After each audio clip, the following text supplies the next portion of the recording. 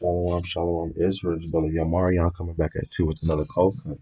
Today we're going to go over our people have to return back to the Lord in these last days. Because in these last days, you have pestilence, you have the coronavirus, you have World War III You have a lot of things going on in these last days that our people are ignorant of. And we have to return back into the Lord because He is our stronghold, He is our power. Right?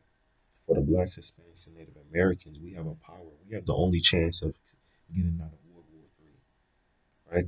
We have the only chance of repenting. So we have to come back to our God and to our nationality, right? Let's go to Second Chronicles chapter 7 and verse 14. Because what do we have to do to return back into the Lord? We have to acknowledge our offenses, right? This is Second Chronicles chapter 7 and verse 14. If my people, which are called by my name, shall humble themselves and pray and see my face and turn from their wicked ways, then will I hear from heaven and will forgive their sins and heal their land. So if we humble down, if we let go of the pride, right? Because pride goes before destruction. Our people is very prideful, right? We're in a lower state, but we're still prideful because it's in our spirit. We have a kingly spirit, right? What does Sirach say? He said one of the things he hates is a poor man that is proud, right? We're poor as a people, but we're still very proud. Proud. Let's go to Proverbs chapter 16, verse 18. Let me get a precept. This is Proverbs chapter 16, verse 18. Pride goeth before destruction, and a haughty spirit before a fall. Right? Pride goeth before destruction, man. Let me read uh, 2 Chronicles 7 14 again. If my people, which are called by my name, shall humble themselves and pray and seek my face and turn from their wicked ways. So if we humble down, try to find who the try to pray to the most high, right, and seek his face, then what? And turn from our wickedness, meaning stop doing what we're doing. Then will I hear from heaven and will forgive their sin and will heal their land. That's all we have to do, man. All right, let's go to First Kings chapter 8 verse 46.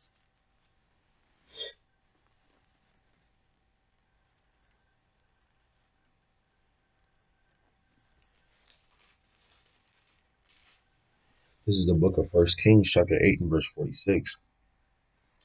If they sin against thee, for there is no man that sinneth not, and thou be angry with them, and hast delivered them to the enemy, so that they carry away captives unto the land of their enemy, far or near, yet if they shall bethink themselves in the land whither they were carried captive, and repent and make supplications, we will carry captive into the land of America. But if we bethink ourselves, remember who we are, and come back to our nationality, right?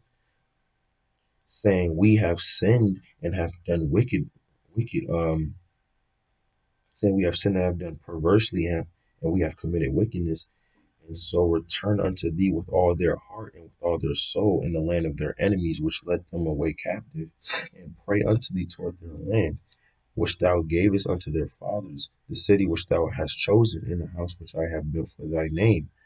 Then hear thou their prayer and their supplication in heaven, thy dwelling place and maintain their cause. So Most High said, if we return back unto him wholeheartedly again, pray towards him, stop doing our wickedness, man, and remember him and humble down, then will he heal heal us, man, as a nation of people. Right? Because we have to understand America is not our it's not our that's not our home. We're not from here, man. This is not our this is not our dwelling place. We have a whole kingdom to come, man. Let me go to Micah chapter 2 verse 10.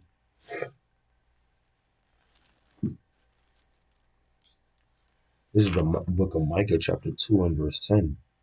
Arise ye and depart, for this is not your rest. So the Most High told us arise and to depart, not physically depart, not catch a plane ticket and go to another country. He's telling us to arise and depart spiritually, right? Because it is polluted it shall destroy you, even with the sword destruction. If you take part in America's ways, when I when these bombs hit America, you're gonna die with America, man. It is polluted. It's gonna destroy you if you stay in the ways of America. Let me go to Revelation chapter 18, verse 4. All right. This is the book of Revelation, chapter 18 and verse 4. And I heard another voice from he- heaven saying, Come out of her, my people. So the her is Babylon the Great, the daughter of Babylon, America. Come out of her. Stop doing her ways, man. Not physically come out of her, but spiritually, right? Come out of her, my people, that you be not partaker of her sins. Right? You don't be partaker of her sins, man. Because when America is destroyed because of her sins, you don't want to be with it.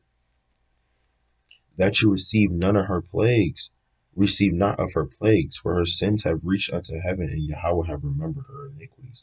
God remembered the iniquities of America, man. You do not want to be destroyed with America. All right, so let's go back to Micah chapter 2, verse 10. And what does it say? Arise ye and depart, for this is not your rest, because it is polluted. It shall destroy you, even with a sore destruction. Man. America will destroy you, man. We have to come out of the ways of Babylon? Let's go to Romans chapter 12 and verse 2. Because we have to renew our mind from this place. We have to relearn everything that we have learned in this country, this backward society, man. Right? This is Romans chapter 12 and verse 2. And be not conformed to this world, but be transformed by the renewing of your mind, that you may prove what is that good and acceptable and the perfect will of Yahweh. So we got to renew our minds that we may perform what's acceptable to our God, man. That's what we have to do in these last days. Right? That's what we have to do. Okay? Because ultimately, they changed the truth of God into a lie, man. They told us that God was white. They told us that Jesus was a was a white man. Right? There were black Africans. That were all these different type of things. They told God is for uh, uh all good. They turned the truth of God into a lie. All right, let's go to Romans chapter 1 and verse 25. Who changed the truth of Yahweh into a lie and worshiped and serve the creature more than the creator, right? And worshiping Jesus, so, so uh, um, the white man, Caesar Borgia, Jesus Christ, right? The creature more than the creator, right? More than the creator who is blessed forever. Amen. Right? So that's what they have done. They changed the truth of God into a lie. That we they we, they're not worshiping the God of this Bible. We have the we our God is out of this Bible. We have to read, repent, and find out who we are in these last days and to return back. Right? Let's go to Isaiah chapter 42.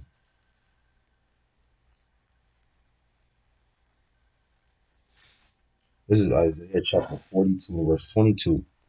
But this is a people robbed and spoiled. Who is the Most High talking about? This is a people robbed and spoiled. He's not talking about the so-called Chinese man.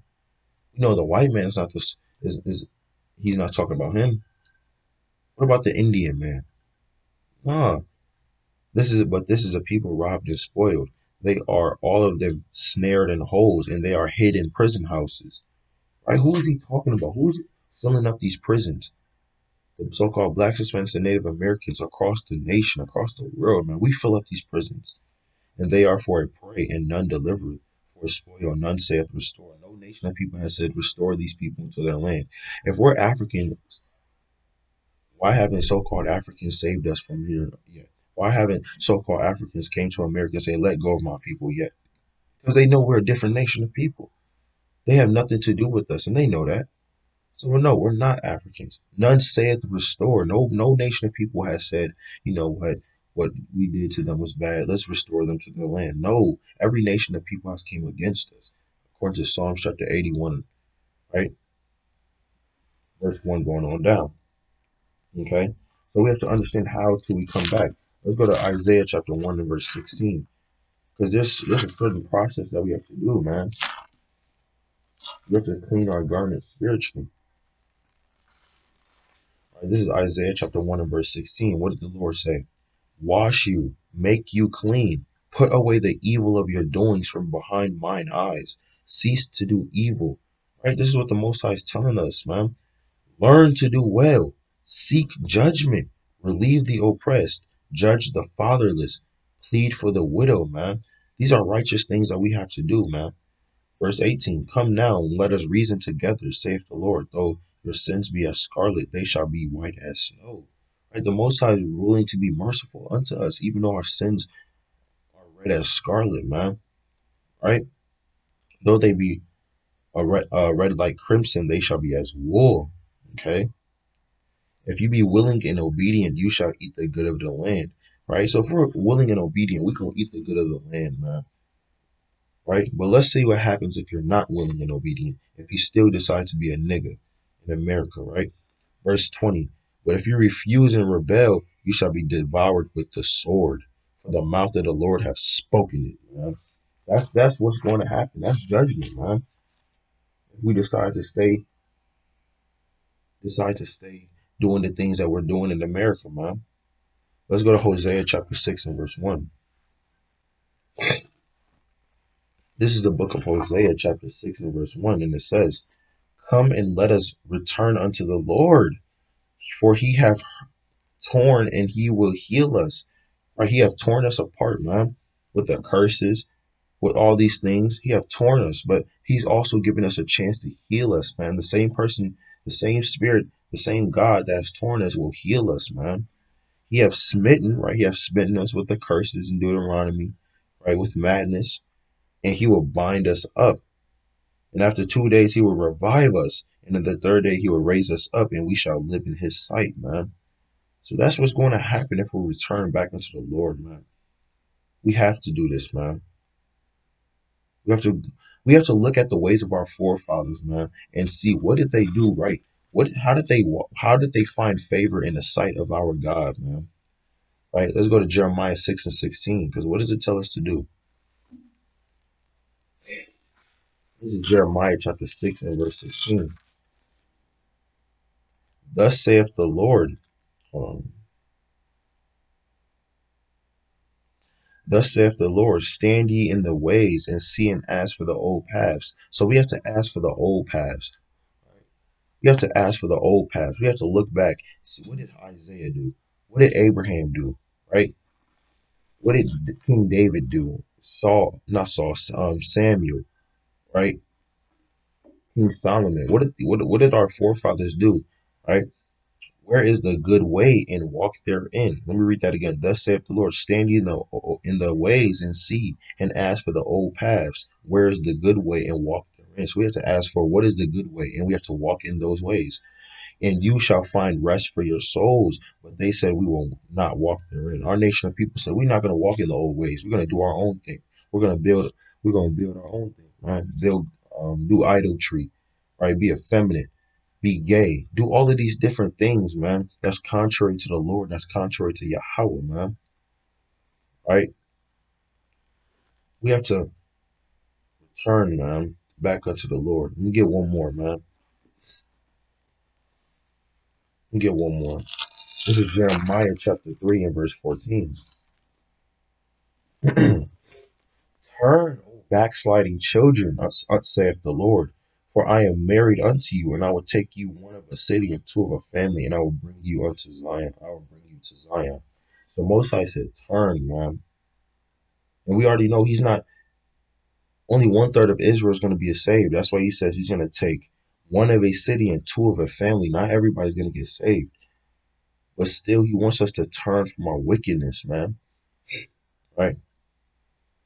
So that was just a little cold cut on. We have to return back to the nation of people in these last days. Because if you watching these prophecies, if you watching what's going on in the world, man, it's getting. We are in the last times, man. We are getting there. We are close, and you know what? We are happy, man, because the kingdom of heaven is right here. We're there, man. Right. Shalom, Israel.